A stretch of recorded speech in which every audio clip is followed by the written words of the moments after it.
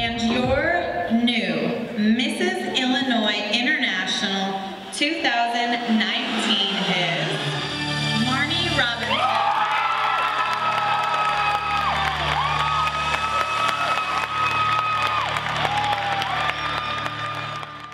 Hello, my name is Marnie Robinson. I'm Mrs. Illinois International 2019.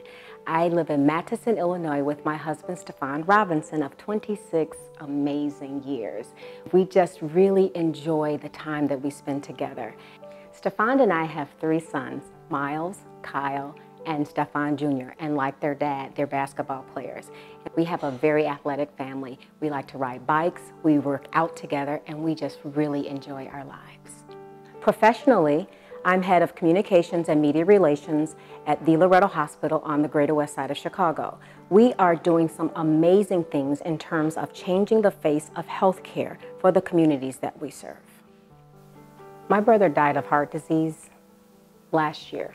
I really believe that if the doctors had talked to him about nutrition and not just given him medication, he would still be here today in honor of my brother and others like him who've been diagnosed with heart disease, diabetes, cancer, or brain disease.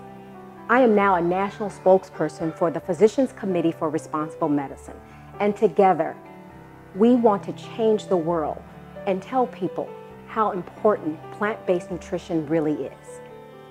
People are unaware of the power of food. It can heal your mind, your body, your soul, and your spirit. After all, you are what you eat. As a nutrition and lifestyle medicine enthusiast, I'm very excited to be able to share this message with people around the world. God has given us everything we need to live a healthy, whole life.